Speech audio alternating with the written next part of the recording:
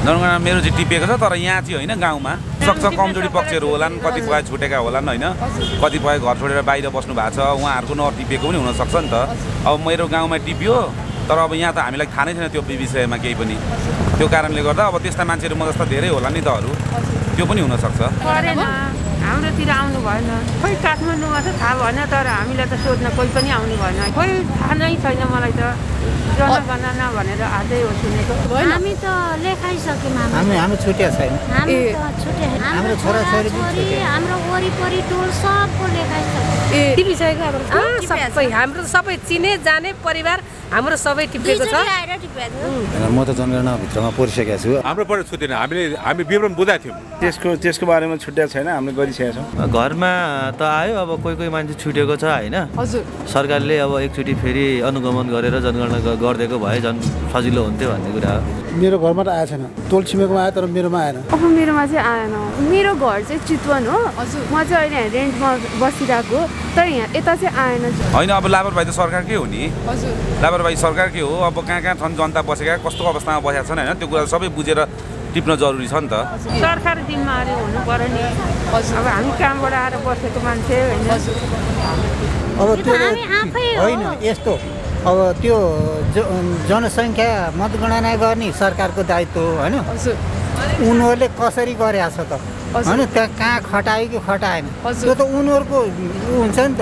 हामी जो गएर टिपाउने कुरो त हुँदैन। कहीँ गएर होइन? अब आएपछि विवरण नदिने भनेको उसको गल्ती हो जसले अब जस्ट हाम्रै गल्ती भयो जनताको गल्ती भयो। होइन त्यो आए आए नआउँदैन आइकन अब कहाँ गएर विवरण विवरण दिने? त्यो त साधारण मान्छे लगभग नेपालमा नि कति अशिक्षितहरू छन् तिनीहरूको कारणले पनि होला होइन? अब त्यो चाहिँ सरकारकै नै अब खोजेर उसको मतगणना त खोजेर गर्नुपर्ने हो क्या सरकारले। छुट्टिनेमा दुइटै जिम्मेवार हो।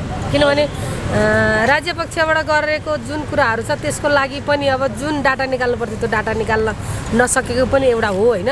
र अब हामीले गणना गर्न आएका गणकहरूलाई पनि हामीले सही सही तथ्याङ्क अनुसार चाहिँ आफ्नो पारिवारिक पृष्ठभूमि बताउनु पनि पर्थ्यो। अब यो त्यत्तिकै त हो नि ठिकै हो भनेर कसैले हेल्चेक्राइ जनमानसको जनताको पनि छ।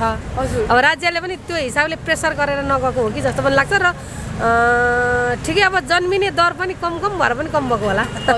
अब सरकारको तर्फबाट एउटा चिज चाहिँ कमजोरी के को भएको छ भने चाहिँ इलिमिटरहरूको कमजोरी हो होइन? सरकारले इलिमिटरहरूलाई राम्रोसँग ट्रेनिङ दिन नसकेको हो होइन? र इलिमिटरहरूले जुन तरिकाले तथ्याङ्क जनगणना गरे त्यो गर्नु भनेको उनीहरूले एक ठाउँ बसेर एउटालाई सोधेर चार पाँचवटा घरहरूको जनगणना गरेका छ त्यसरी धेरै मान्छेहरू छुटेका छन्। नेपाल सरकारको आधिकारिक तथ्याङ्क विभागले जनगणना निकाल्दाखेरि दुई करोड एकानब्बे लाख मात्रै निकाल्छ। भनेपछि त यहाँ कमजोरी भएको त सरकारको तर्फबाट हो नि त। त्यसमा हामीले हामीले भन्न मिल्दैन बोल्न मिल्दैन। जिम्मेवारी अब त्यो जनगणना आउने व्यक्ति पनि छ र राज्यको तर्फबाट पनि छ। किनभने व्यक्ति चाहिँ अब बिहान समयमा आउनु नसक्नु जस्तै अब उनीहरूको कति प्रायःको अफिसहरू लगाइसकेको हुन्छ।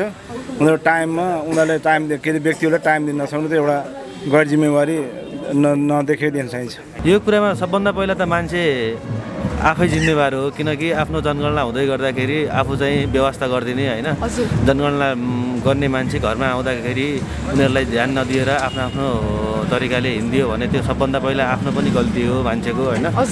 त्यसपछि चाहिँ अब जनगणनाको लागि टो खटाइएका मान्छेहरू जस्तो अब मान्छे दिउँसोतिर प्रायः बिहानको समय हुन्छ या अरू बेला चाहिँ जतिखेर मान्छे काममा जान्छ त्यतिखेर चाहिँ जनगणना गर्द गर्न जाँदाखेरि चाहिँ त्यो टाइम पनि अब नमिलाउने एउटा जनगणना गर्ने मान्छेको पनि आफ्नो कमजोरी हुन्छ र त्यसपछि चाहिँ अब छुटेको मान्छेलाई फेरि व्यवस्था गरेर फेरि जनगणना नगर्नु भनेको पछि सरकारको गल्ती हुन्छ। कुनै यस्तो अब सरकारले ड्युटी गरेर जुन छ नि सरकारकै कमजोर भन्नुपर्छ यसमा। सबै क्यालकुलेट गर्नु के अरे जनताको सबैतिर जानु पऱ्यो नि त त्यो सरकारले चाहिँ जे हो सबै राम्रो मान्छेहरू एलोकेट गरेर सबै ठाउँमा पुर्याउनु पर्ने हो नि त। अब यस्तो देशको सङ्ख्या काउन्ट गरेर छ अनि यसमा त गल्ती गर्नु भएन नि त। त्यही भएर त्यो सरकारकै फल जस्तो लागिरहेछ। राम्ररी मान्छेलाई पहिल्यैदेखि सूचना दिएर यसरी गर्नुपर्छ।